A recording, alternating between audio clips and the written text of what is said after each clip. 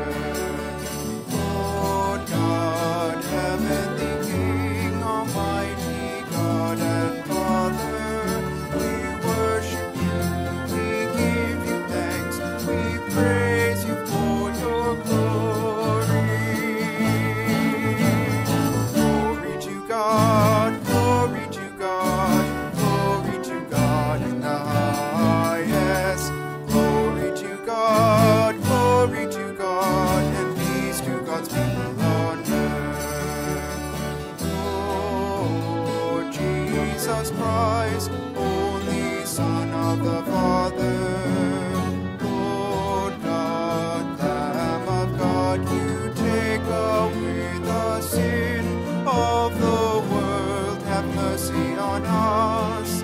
You are seated at the right hand of the Father. Receive our prayer.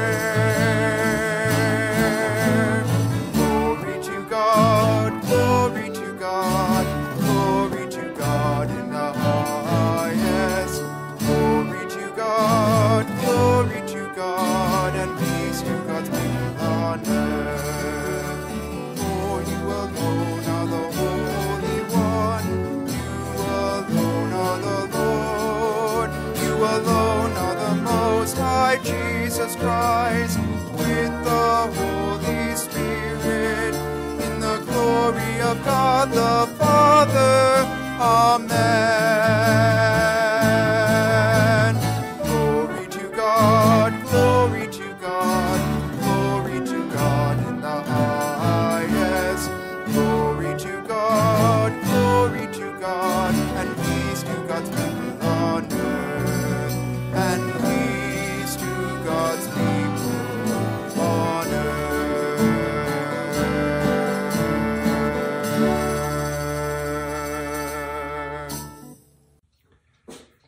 Please pray with me the prayer of the day. Almighty God, your Son Jesus Christ is the way, the truth, and the life. Give us grace to love one another, to follow in the way of his commandments, and to share his risen life with all the world. For he lives and reigns with you and the Holy Spirit, now and forever. Amen.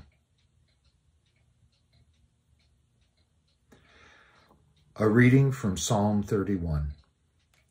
In you, O Lord, have I taken refuge.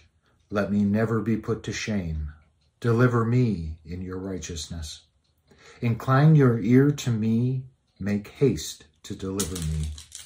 Be my strong rock, a castle to keep me safe. For you are my crag and my stronghold. For the sake of your name, lead me and guide me.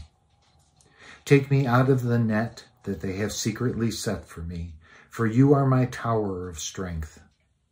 Into your hands I commend my spirit, for you have redeemed me, O Lord, God of truth. My times are in your hand.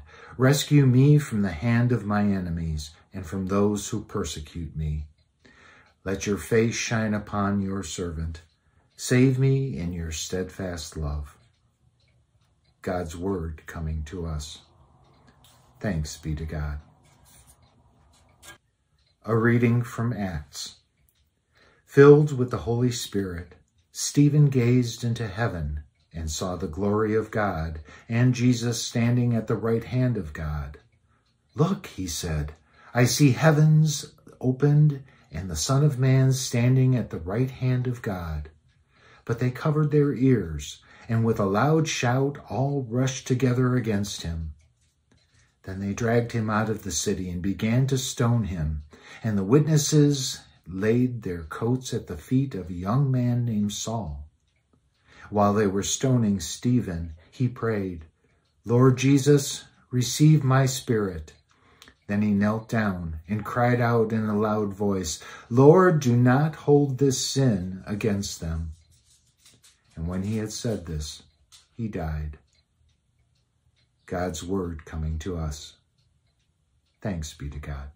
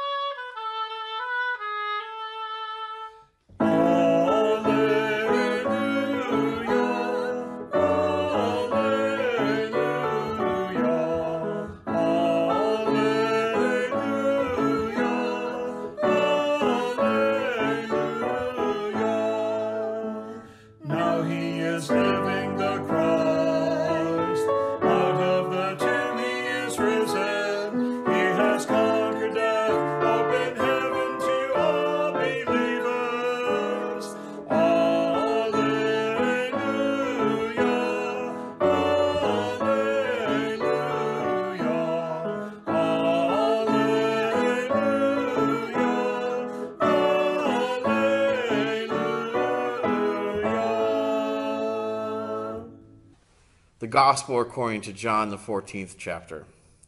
Jesus said to the disciples, Do not let your hearts be troubled. Believe in God. Believe also in me. In my Father's house there are many dwelling places. If it were not so, would I have told you that I go to prepare a place for you? And if I go and prepare a place for you, I will come again to take you to myself, so that where I am, there you will may be also and you know the way of the place where I'm going. Thomas said to him, Lord, we do not know where you are going. How can we know the way? Jesus said, I am the way, the truth, and the life. And no one comes to the Father except through me. If you know me, you will know my Father also.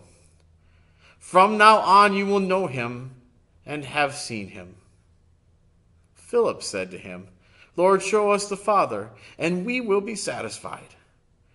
Jesus said to him, Have I been with you all this time, Philip, and you still do not know me? Whoever has seen me has seen the Father. How can you say, Show us the Father? Do you not believe that I am in the Father, and the Father is in me? The words that I say to you, I do not speak on my own, but the Father who dwells in me does his work. Believe me that I'm in the Father and the Father is in me. But if you do not, then believe me because of the works themselves. Really, truly, I tell you, the one who believes in me will also do the works that I do, and in fact, will do greater works than these, because I am going to the Father. I will do whatever you ask in my name, so that the Father may be glorified in the Son. If in my name you ask me of for anything, I will do it. God's word coming to us. Thanks be to God. Good morning and welcome to Time with Children.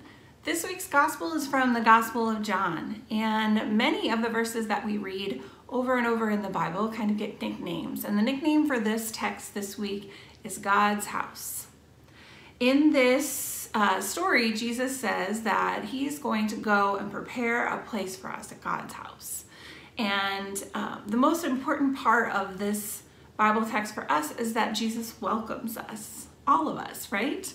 Um, and I'm wondering if you guys have ever welcomed anyone into your home. Um, have you ever prepared your house to have guests and to welcome people? Maybe for dinner or to stay for a little while? What kinds of things do we do to prepare to have people in our home? I know one of the things that we do when we're preparing to have people in our home is we clean.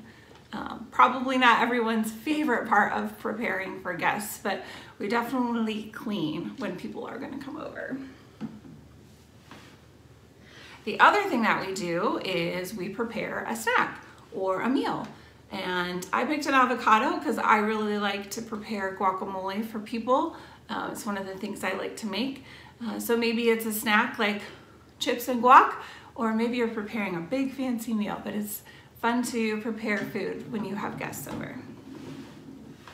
Another thing um, that we do when we're preparing to have guests is we might set up the table. Maybe we just put a candle on the table or maybe it's a fancy meal like these are some of the linens that we use for Christmas at our house and they're a little more fancy. Um, but we prepare the table to have guests over and to be together. What are some other things that you do in your house to welcome people? do you expect that when people come over that they're dressed a certain kind of way or that they're super happy and smiling the entire time that they're at your house? Of course not. I don't either. I try to tell people that when they come over, they should just come as they are. And Jesus welcomes us as we are too. Jesus welcomes us unconditionally, which means no matter what. When Jesus is talking to his disciples in our story today, he's reminding them of how much he loves them and all of the things that he has done for them and will do for them.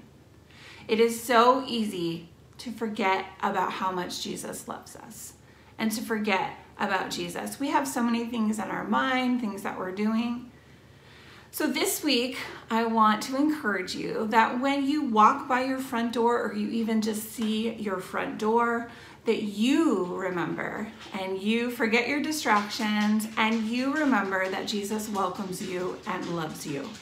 You don't have to be perfect. You don't have to be dressed a kind of way. You don't have to be smiling all the time. Just know that Jesus opens that door and loves you no matter what. Please pray with me. Dear God, thank you for welcoming us and loving us. Sometimes we forget about all that you have done, and other times we are just in a bad mood. But you love us anyway. Wow. Help us to remember your love, and this week, help us to find ways to remind others of your no matter what love too. Amen. What are we to do, brothers and sisters? What are we to do with our troubled and unsatisfied hearts? What are we to do when we are so confused and God seems so confusing? What are we to do when we ask and do not receive, when we seek and we do not find, and we knock and the door just remains closed? What are we to do when Jesus says, Believe me, and, uh, well, we say we wish we could? What are we to do when Jesus says, Very truly I tell you? And our response is, What is truth? And what are we to do? And how are we supposed to lead when we don't know where you are going and we only know where we've been? There are days. There are days when I think it's my job to answer all these questions. And there are days that I am the one that has all these questions. There are days in which the troubled and unsatisfied heart seems to fill all voids and empty spaces of faith. It gets filled with all this worry and despair.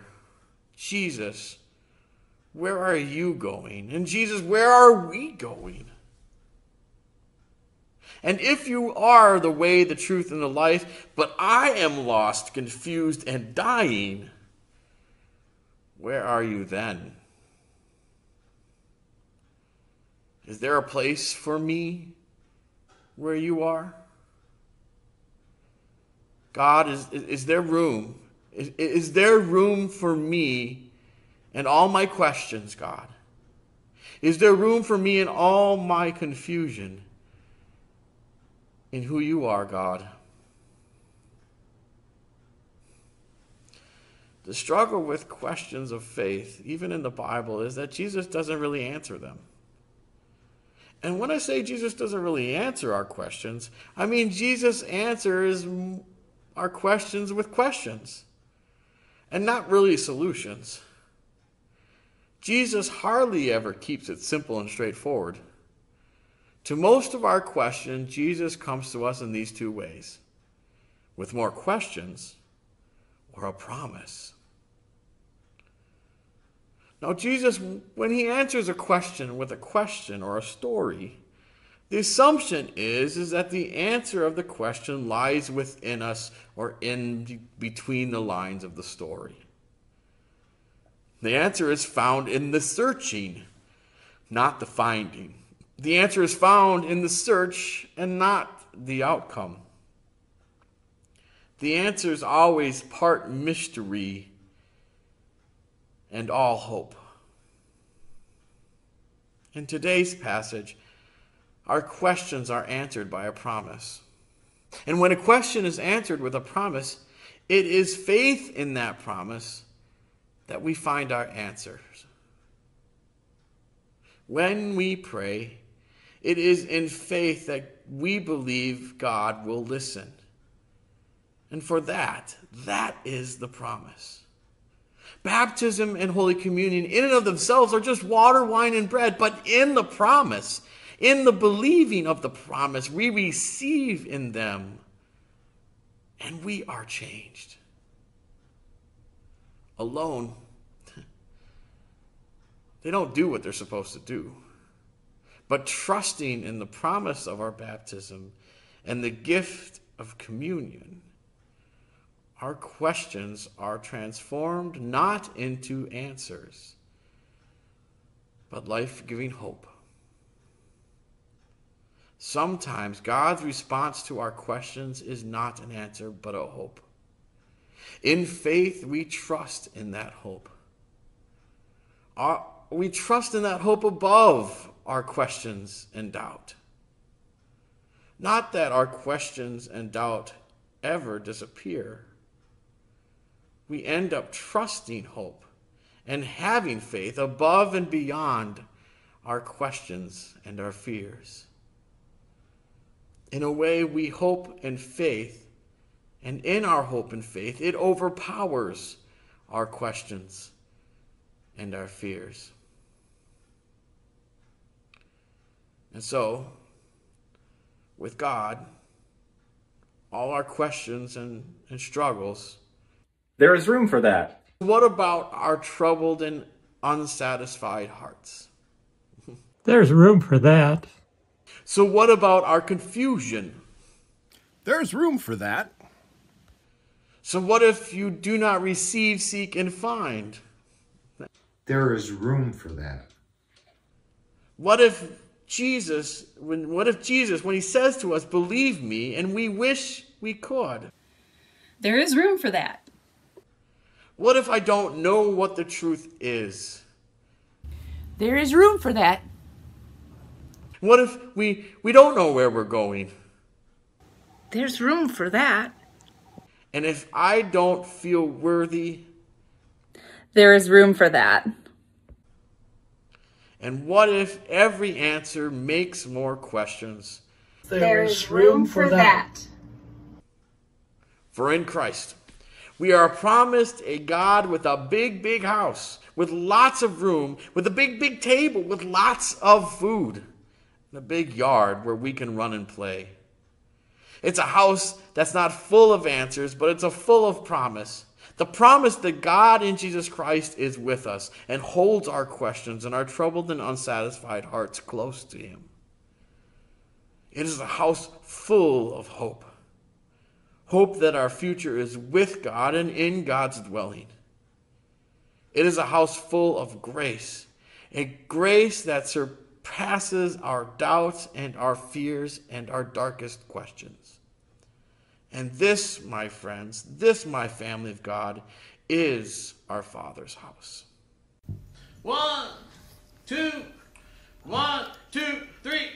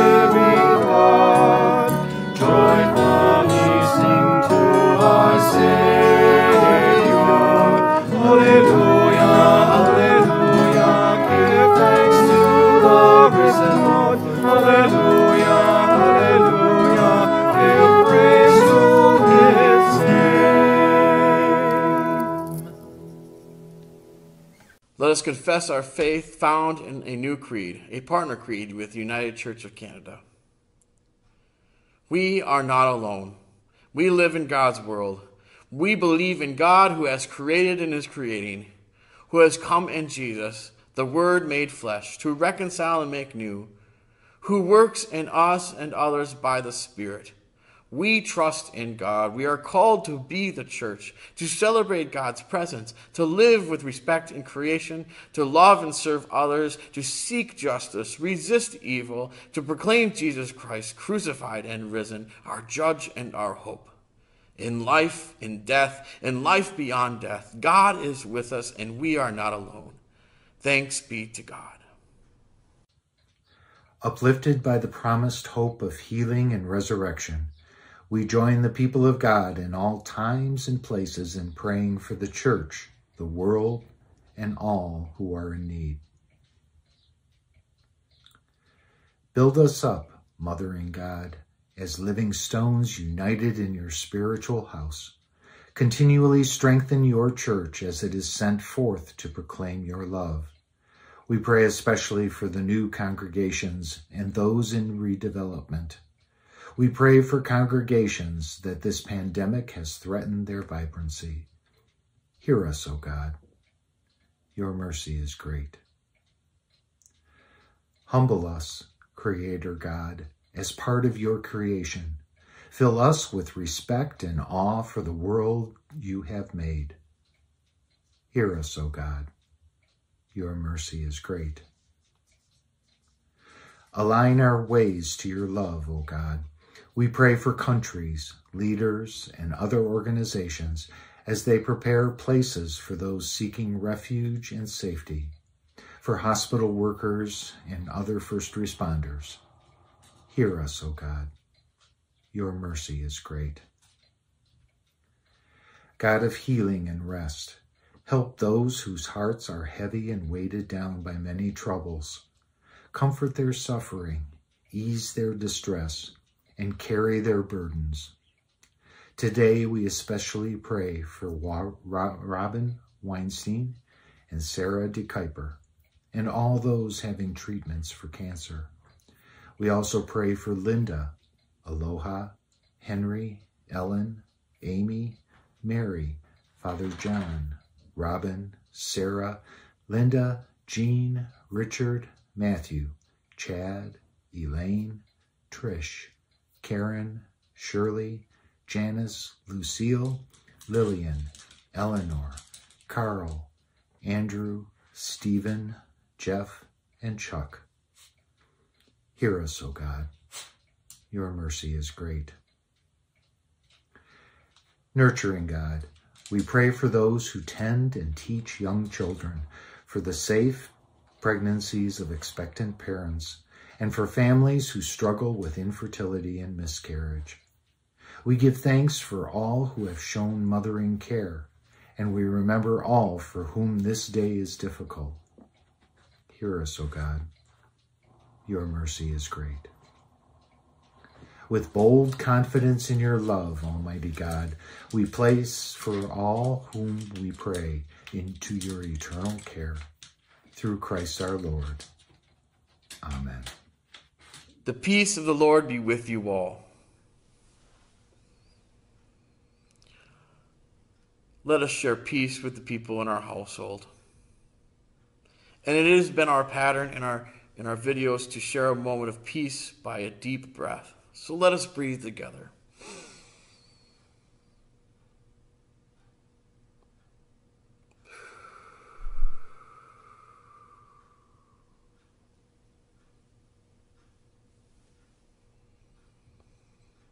Amen. As a resurrected people yearning to pray with hope, let us pray. Our Father, who art in heaven, hallowed be thy name. Thy kingdom come, thy will be done, on earth as it is in heaven. Give us this day our daily bread, and forgive us our trespasses, as we forgive those who trespass against us. And lead us not into temptation, but deliver us from evil. For thine is the kingdom, and the power, and the glory, forever and ever. Amen. As you go on your way, may God go with you. May God go before you to show you the way. May God go behind you to encourage you, beside you to befriend you, above you to watch over you, within you to give you peace. In the name of the Father, Son, and the Spirit.